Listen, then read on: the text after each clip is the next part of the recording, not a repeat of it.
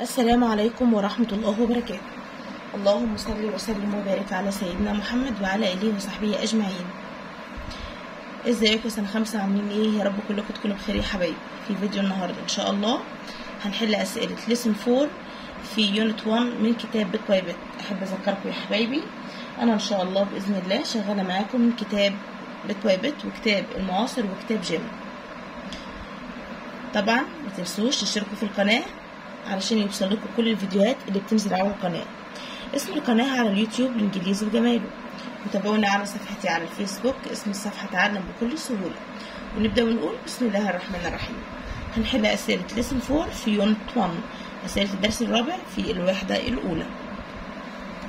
أول سؤال في الدرس الرابع بيقول له look at the words in bold match them to their meanings بمعنى انظر إلى الكلمات بخط عريض صلها بمعانيها. ده سؤال بيعتمد على حفظي وفهمي للديفينيشنز التعريفات. لازم نبقى عارفين كل كلمة تعريفها إيه بالإنجلش علشان نوصل صح. أول كلمة معانا جاينت جاينت يعني عملاق. هنوصلها ب a very very big person. يعني شخص كبير جدا جدا. الكلمة التانية جراب جراب بمعنى يمسك بيه أو ينتزع. هنوصلها بتعريفها to pick something up quickly. أن تلتقط شيء ما بسرعة. Number 3 castle castle يعني قلعة. هنوصلها ب a very large building. Built a long time ago. يعني مبنى كبير. جدا. بني منذ وقت طويل. بعد كده chop. chop يعني يقطع. هنوصلها ب to cut something down. أن تقطع شيء ما. أو تقطع شيء ما. آخر كلمة عندنا cage يعني قفص. بمعنى a box in which we keep animals. يعني عبارة عن صندوق بنربي فيه الحيوانات. يبقى إحنا كده حلينا أول سؤال على الدرس الرابع نشوف الصفحة اللي بعد كده. بعد كده هنا بقى look and write انظر واكتب هنا بنكمل الحروف في الكلمة. لايم حرف الاي بين حرف الاي والاي جريب حرف الاي ايج الاي ميلك الاي رايس الاي كاندي حرف الاي هنا بقى بيقول لي say then circle the odd one out. قل ثم ضع دائرة على الكلمة المختلفة. في number 1 grape في number 2 عندنا mango egg candy الكلمة المختلفة في النطق egg number 3 fish meat bean الكلمة المختلفة fish في number 4 lime و rice cake الكلمة المختلفة كيك بعد كده read. Then listen and complete. اقرأ ثم استمع وأكمل. هنا طبعا بيقول لي some words sound the same but have different spellings. يعني بيقول لي إن بعض الكلمات ليها نفس الصوت في النطق يعني على نفس الوزن ولكن التهجي مختلف الحروف مختلفة وبرضو ال meaning مختلف. المعنى cake snake على نفس الوزن. الاتنين بيشتركوا في ال a وال e. rain pain. برضو على نفس الوزن في النطق. فيهم a i gray stay على نفس الوزن في النطق. الاتنين بيشتركوا في ال a وال y. هنا بقى بنكمل الحروف. I say a y let's play a y let's bake a cake ال a وال e. بنكمل الحروف. bake يخبز. كيك يعني تورتاية أو كيكة. Snails have tails. الاي والاي والاي والاي بعد كده بقول لي write three sentences with the words in exercise 3 اكتب ثلاث جمل باستخدام الكلمات التي في التمرين 3 طبعا هنا بننج... هنا بعد ما كملنا الكلمات هننقل الجمل هنا. I say let's play. أنا أقول هيا نلعب.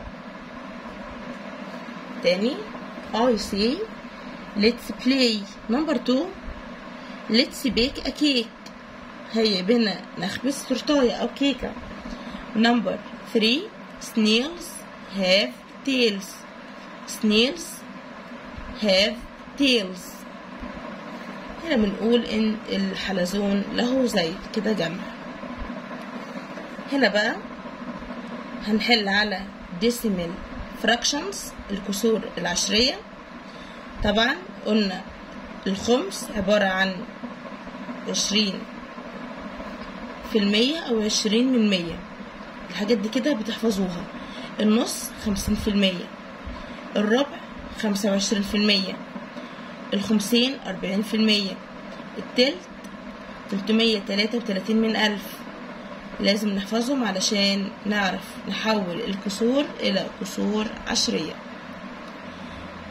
الكسر العادي ان أقول مثلا واحد على اتنين بسط ومقام الكسر العشري إن أنا ببدأ ب zero وبعد كده point النقطة دي وبعد كده حسب بقى لو عندي ربع يبقى خمسة وعشرين عندي خمس يبقى عشرين وهكذا.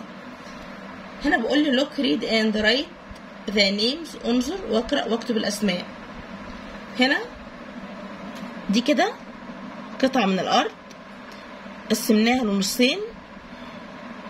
الجزء اللي زرعناه نص يبقى واحد. إحنا كده زرعنا جزء واحد من الاتنين يبقى واحد على اتنين. الجزء اللي إحنا زرعناه بنكتبه في البسط وبنجمع باقي الأجزاء ونكتبها في المقام. هما كلهم جزئين. إحنا زرعنا جزء أو أمير يعني حسب بقى الشخص اللي زرع. أمير زرع نص الأرض يبقى واحد كده واحد من الاتنين على الجزئين يعني اتنين. يبقى أول حاجة كده نص. طيب إحنا بنحول النص إلى كسر عشري إزاي؟ خمسين في المية أو خمسين من مية. يبقى zero point fifty الجزء التاني من الأرض طبعا هنا بعد ما نخلص تحويل الكسور إلى كسور عشرية هنذكر الأسماء. هنا عندنا الأرض 1 2 3 زرعنا منها التلت فقط. يبقى الجزء اللي إحنا زرعناه واحد على تلاتة. تلت. بنحولها لكسر عشري. 0.333 333 من ألف.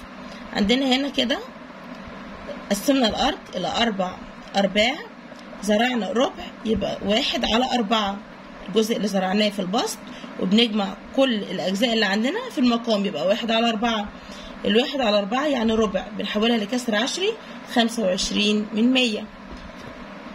بعد كده هنا زرعنا تلات أرباع يبقى تلاتة على أربعة خمسة وسبعين في المية أو خمسة وسبعين من مية. هنا عندنا 1 2 3 4 5 هنا قسمنا الأرض إلى خمس أجزاء. زرعنا جزئين يبقى اتنين على خمسة. يعني خمسين. إحنا قلنا الخمس الواحد عشرين من مية يبقى الخمسين أربعين من مية. بعد كده هنا عندنا خمس الخمس عشرين من مية أو عشرين في المية بنفس الطريقة. هنا بقول لي ولاء planted third of her field. ولاء زرعت التلت من حقلها الحقل بتاعها. فين التلت؟ ده التلت هنا نكتب ولاء. بعد كده أمير زرع النص. نشوف فين النص. هنا يبقى ده أمير. في number 3 طارق زرع الربع. فين الربع؟ ده الربع. يبقى هنا هنكتب طارق. في number 4 لبنى زرعت الخمس. يبقى دي لبنى. في number 5 شريف زرع تلات أرباع. يبقى ده شريف. يبقى الحقل ده بتاع شريف. في number 6 منار planted هنا خمسين. of her field يبقى كده إحنا بنقول إن منار زرعت خمسين يبقى دي كده قطعة الأرض الخاص بمنار أو الحقل الخاص بمنار. هنا بقى بيقول لي think and write فكر واكتب. Did you know هل تعلم إن أربعة من عشرة بيساوي أربعين من مية بيساوي ربعمية من ألف؟